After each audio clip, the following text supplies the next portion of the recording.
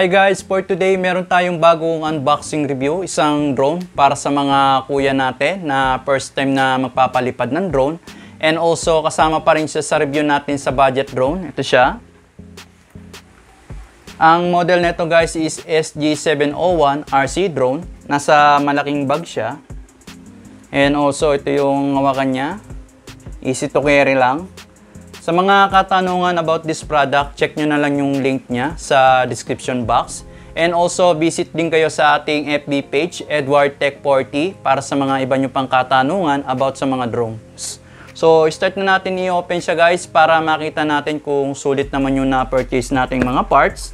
And after that, palilipa rin na natin siya. So, start na tayo guys. Open na natin siya. So, ito yung itsura niya guys pag nag-purchase kayo ng SG701. So, tanggalin natin yung mga accessories niya dito sa taas. Ito yung mga accessories niya. And nagpa-extra na rin ako ng isang battery. Bali, dalawa yan guys. Tanggalin natin yung remote. Ating drone na SG701. So, ito lahat yung nakuha natin sa bag guys. Isang instruction manual, Chinese and English na, na version. And also, yung isa pang manual para naman sa apps natin. Meron siyang Chinese version din. And also, yung English. So, i-scan lang natin yung QR code dito guys. Then, pwede nyo nang i-install yung apps para magamit natin siya through Android phone. And ito naman, bali dalawa yung battery na kinuha natin. Bali yung battery natin guys is 3.7 volts. Tapos 2000 mAh. Bali yung isa nito nandito sa drone natin. Tanggalin na natin itong cover. So ito yung isa. So dalawa yan guys para hindi tayo mabitin. Bali yung flight time nito guys umabot siya ng 15 minutes. Then yung charging time niya is 1.5 hours. And also meron tayo ditong screwdriver, tapos extra propellers. Kung sakali magkaroon ng problem yung propellers natin, pwede tayo mag-replace. And also meron din tayo ditong prop guard. Pwede natin ikabit para pa nagpalipad tayo, hindi agad-agad masisira yung propellers natin kasi naka-prop guard siya. And also meron tayo ditong USB charger. And pag magcha-charge ka guys, ito lang oh, kukunin nyo lang yung LiPo battery natin ipa-plug nyo lang siya dito sa dulo. Then, pwede na kayong gumamit ng power bank or yung sa cellphone nyo na 5 volts, 1 to 2 amperes, pwede na yun guys. And the last yung ating SG701 RC drone. So, check natin kung ilang grams yung ating drone bago natin i-open yung kanyang mga legs. So, lagay natin yung ating LiPo battery. So, gilid muna natin yung ating mga accessories dito. Timbangin natin ilang grams yung ating SG701. So, umabot siya ng 0.185 grams yung ating drone na SG701. So, open natin yung legs niya. Ang laki rin pala guys eh oh. So, pwede to sa mga kuyat atin natin pag uh, magpapalipad sila ng drone. Mga first time na makapag-experience niya to, yan. So, check muna natin yung ating transmitter. Tignan natin kung gaano kaganda yung transmitter natin. Hmm. Mabigat din yung transmitter natin, guys. And also, smooth naman yung joystick natin. And meron siya mga button dito. Bali, hindi ako nagkakamali, guys. Ito yung tuning natin, pababa. And ito naman yung pataas. Then, ito naman, kanan, kaliwa. Ayan yung mga tuning natin. Then dito naman sa taas yung power niya. Tapos yung headless niya ito sa baba. Then dito naman sa mga functions button niya. And dito guys sa gilid na to, itong functions button na to, pag nilong press mo to, ano na to, uh, start recording. Pero pag press lang, photo. Then dito naman sa kabila, ito naman siguro yung ano natin, yung take off or ano, landing. Pero itong dalawang dial na to, hindi ko pa alam kung ano yung functions nito. Pero nasa manual naman natin yung instruction niyan, yung dalawang dial na to. Nakasulat naman yan doon. So, check natin yung likod. Bali yung ano nito guys, yung materials lang natin is ABS plastic. So, kailangan pa nang i-screw to. Itong ating remote para sa kabitan ng battery. I-screw muna natin. Tingnan natin kung anong battery yung E-type ang kailangan dito sa remote natin. And by the way guys, wala tong kasamang battery. So, kailangan niya mag-provide ng battery. So, apat na battery guys yung kailangan natin. And also, yung battery type niya is AAA battery. So, meron tayo dito mga extra battery. Titest din natin itong Panda rin ngayon para makita natin kung okay naman bago natin paliparin sa labas. So, AAA battery ang kailangan. Yan. Oops. Kaya siguro naka-tornilyo siya kasi tumataas yung battery natin. Nagpo-push siya pataas so kailangan talaga i-screw siya. So balik na natin to. Bali yung transmitter natin or yung remote control, ang frequency nito is 2.4 GHz. So power natin. So yun guys, bali working naman yung remote natin. And also pa nagbi-blink ng ganyan, hindi pa siya connected sa drone. So off muna natin. So, check pa natin yung iba. Bali, may antena na rin siya dito, guys. Tingnan natin kung okay naman yung antena niya. So, wala naman siyang wire. So, parang naka, ano lang to guys, naka-design lang din ang ating remote control sa mga previous na budget drone na na-review natin. So, lagay muna natin to sa baba. And by the way, yung image transmission ng SG701 natin is maabot siya ng 100, met 100 meters tapos yung remote control distance niya naman is 150 meters. So ito yung ating SG701. Maganda yung design ng camera niya. Yung angle ng camera natin. Yan. Bali umabot siya ng 90 degree. And meron din siyang LED light dito. Kung mapansin nyo dito sa SG701 natin, meron siyang ilaw dito guys. Pag inon na natin yan, iilaw yan. On natin. Dito yung power button niya sa ilalim. Check natin. Bali, pwede natin siya paliparin sa gabi guys. Kasi meron siya mga ilaw dito sa ilalim ng propeller. Di ba? Ang smooth niyang tignan. Botchog yung, ano, yung drone natin guys. Bali, yung nagpapaikot dito sa propeller natin guys is gear. Kasama na rin yung brush motor niyan. Pag ganito guys, ano pa yan, di pa nakabind yan. So, i-on na natin yung transmitter natin.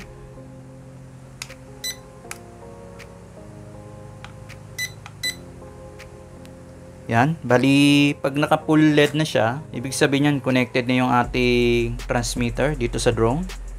So, paanda rin natin yung motor natin.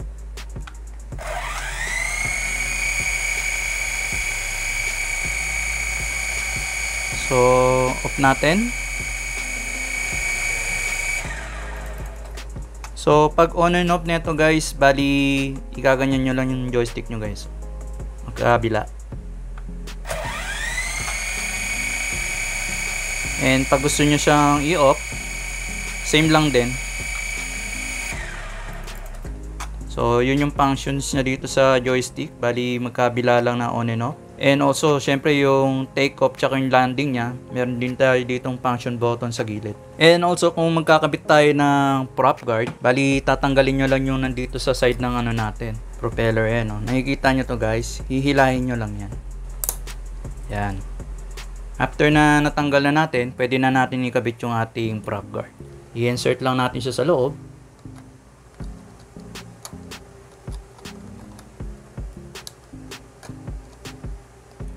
Ganyan ang itsura niya. Med mas lalo siyang lumaki kasi mayroon na siyang prop guard. Pero mas maganda yung ganyan para maproteksyonan yung ano natin, yung propeller natin. So, lagay ko muna yung tatlo para makita nyo guys.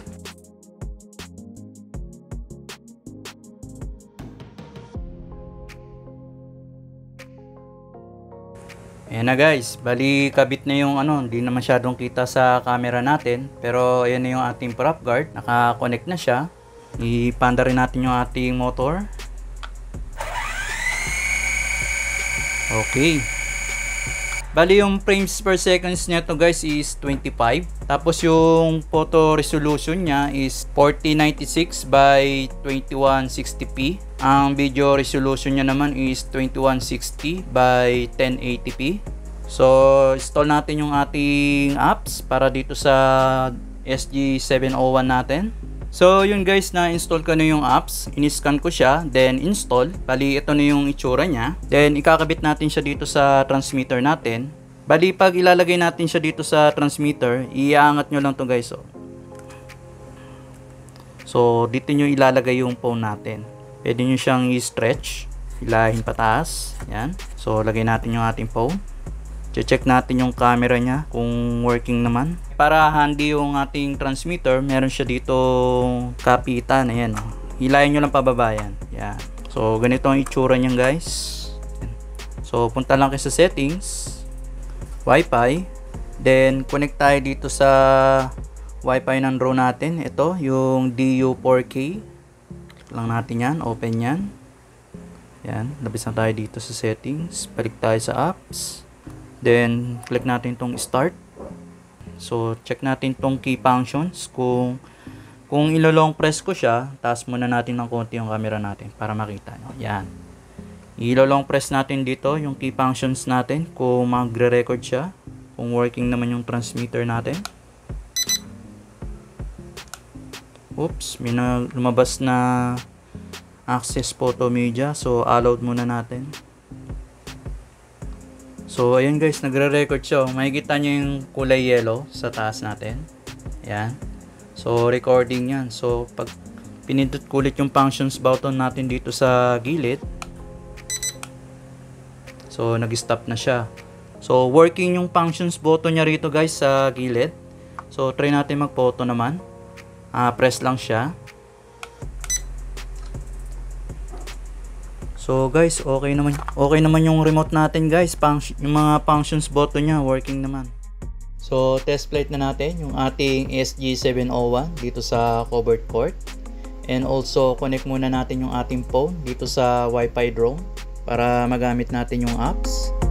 So start na natin i-take off. So yun guys, maganda yung take off ng drone natin. Very straight yung kanyang pag-angat. And also maganda rin yung LED light natin sa ilalim ng motor kung makikita nyo. Malaking tulong yan guys lalo na pag nasa malayo yung drone natin.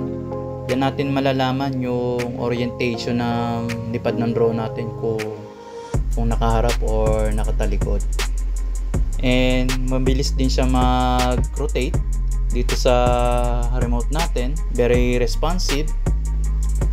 So dahan-dahan ko munang pinapalipad ino-observe ko lang kung ano eh, kung tumatagilid siya or lilikot siya pag uh, pinapalipad natin. Pero parang gentle lang yung ano niya, yung hover niya. So baba natin ng konti. Pansinin, pansinin niyo yung LED light niya guys sa harap. Ang lakas kahit na maaraw, nakikita pa rin natin yung LED light niya sa harap. So kita niyo yung camera natin guys, malinaw din. So, straight natin na mabilis. Check natin kung straight yung hover niya. Yun guys, bali tuloy-tuloy lang yung lipad niya. Straight, hindi siya nakatagilid. And by the way, yung ano niya, yung ilaw niya guys, pag uh, nagbi-blink-blink na yan, yung sa harap niya, ibig sabihin nun, uh, malapit na siyang malobat yung lipo battery natin. So, ganyan kaganda yung ating SG701. And may rin guys na lagyan nyo rin ng prop guard para sa mga beginners natin para ma-protectionan yung propeller.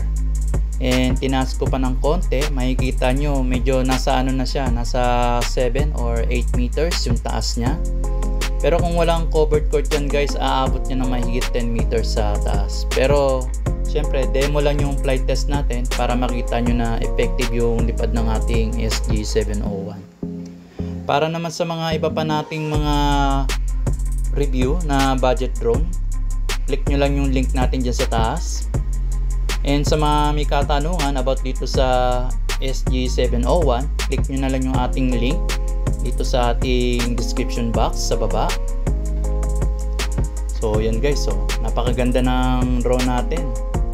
Very smooth para sa mga kuya at ate natin.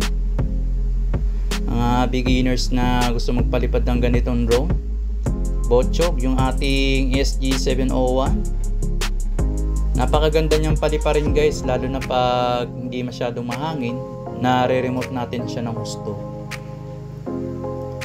So kung bago ka lang sa channel natin don't forget to hit yung ating subscribe button and click mo na rin yung ating notification bell para ma-notify ka sa mga iba pa nating unboxing reviews and tutorials.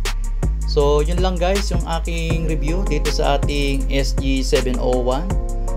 So, thank you for watching and see you later guys.